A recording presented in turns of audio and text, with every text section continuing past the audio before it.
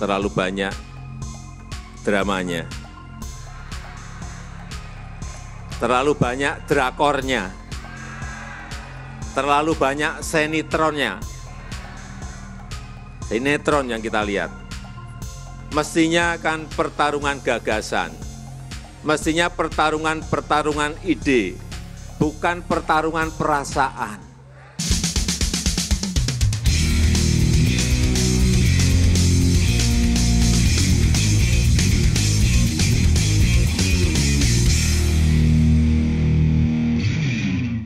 Sampai sekarang saya kalau dengar teori-teori konspirasi tentang betapa hebatnya seorang Jokowi, saya tuh suka ketawa. Oke, saya hormat pada Jokowi karena dia berhasil membangun Indonesia sampai selevel ini. Tapi Jokowi juga bukan nabi. Dia manusia biasa kayak kita yang tempatnya salah dan lupa. Jadi biasa aja lah. Hormati apa yang sudah pernah dia lakukan tapi jangan lupa kritik kalau ada kesalahan. Kritik itu bagian dari rasa sayang, bukan kebencian. Kalau kebencian itu pasti keluarnya makian, kata-kata binatang yang dengernya saja kuping kita pasti nggak tahan. Jadi saran saya ya, jadilah pendukung yang rasional, bukan yang emosional. Karena kalau kita terlalu mendewakan sosok seseorang, kita jadi pendukung buta yang bisa dijebloskan ke mana saja seperti bebek yang diangon untuk masuk jurang. Oke, saya coba buka rasionalitas kalian sekarang. Apakah Jokowi sekarang ketika dia masih jadi presiden akan sehebat Jokowi ketika dia nanti tidak lagi jadi presiden? Saya jawab tidak. Dan ini sebenarnya yang mengerikan. Jokowi bisa berkuasa atas banyak hal karena dia sekarang memegang tongkat komando sebagai presiden. Tetapi ketika tongkat komando itu tidak lagi dipegang oleh seorang Jokowi, bisa jadi serangan beruntun akan menyerang Jokowi. Dan percayalah, Prabowo itu juga bukan orang yang bodoh. Dia pernah memimpin pasukan khusus dia seorang jenderal lapangan yang kenyang di medan perang. Dia juga sangat mengerti taktik dan strategi untuk memenangkan perang. Kalaupun dia pernah gagal, bukan berarti dia menyerah. Dia bisa saja membuat strategi berkebalikan yang akhirnya menguntungkan buat dia. Dan ini bisa terjadi di masa sekarang, di Pilpres 2024. Jokowi itu memang pecatur yang hebat.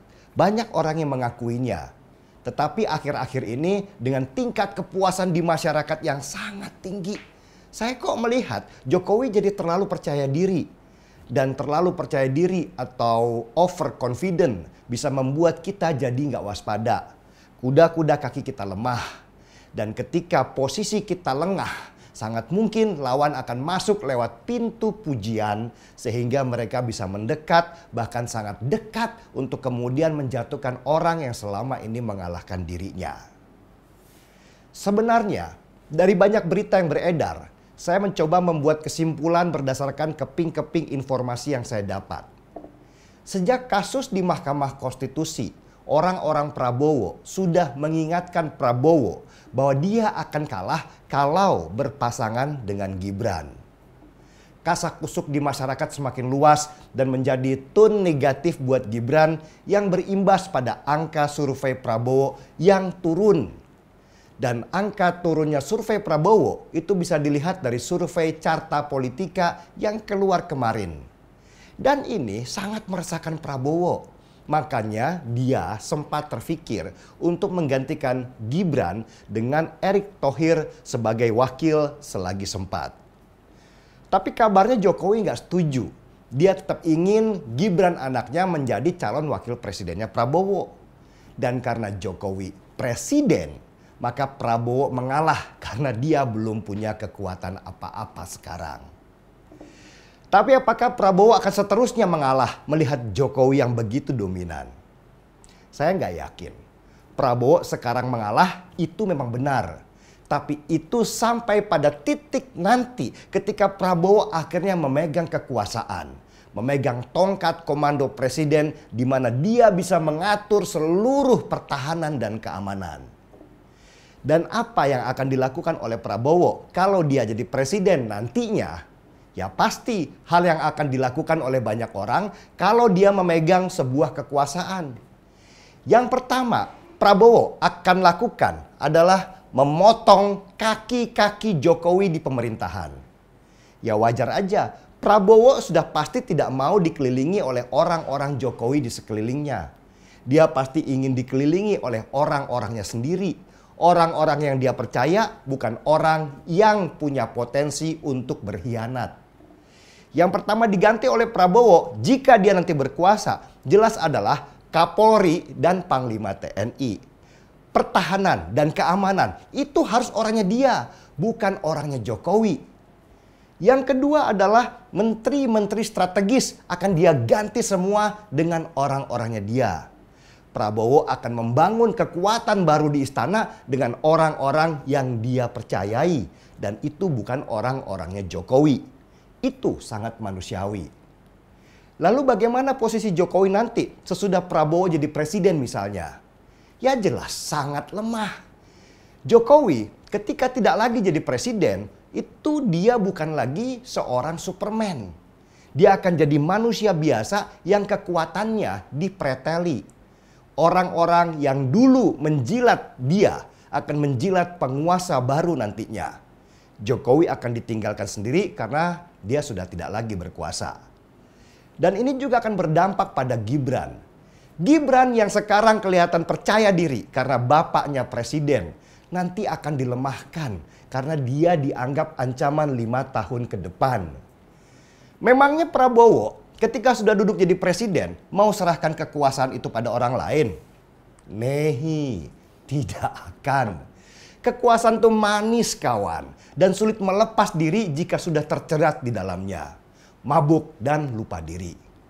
Orang-orang yang dianggap ancaman sudah pasti akan disingkirkan kursi-kursi yang dulu diisi oleh orang-orang Jokowi akan diisi oleh orang-orangnya Prabowo. Dan sejarah raja-raja sudah mengabarkan sifat manusia seperti itu. Bahwa pengkhianatan pasti akan berbuah pengkhianatan juga. Karena itulah saya sangat menyesalkan. Kenapa sih Jokowi meninggalkan teman-teman terbaiknya yang mengawalnya sampai 9 tahun uh, berkuasa hanya karena dia ingin terus berkuasa Jokowi sekarang punya teman baru yang bisa jadi ancaman buat dirinya ketika dia tidak lagi berkuasa. Dan saya percaya ini akan terjadi ketika Prabowo berkuasa nanti. Jokowi lah yang pertama akan merasakan dampak buruknya karena dia sebenarnya adalah ancaman terbesar Prabowo di kekuasaan nantinya. Saya nggak membenci Jokowi. Sejak lama saya sudah kasih peringatan baik yang halus maupun yang paling keras sekalipun. Tapi gimana lagi? Jokowi sudah tidak mau lagi mendengar. Dan nasi sudah menjadi bubur. Jokowi sekarang dalam situasi yang terjepit. Dia menang, maka Prabowo akan jadi ancaman. Dia kalah, maka sanksi keras sosial masyarakat akan menimpanya karena Jokowi dianggap menghalalkan segala cara untuk terus berkuasa. Kasihan Jokowi, kasihan bangsaku ini diadu terus hanya karena seorang ayah terlalu sayang kepada anaknya. Kita seruput dulu kopinya kawan.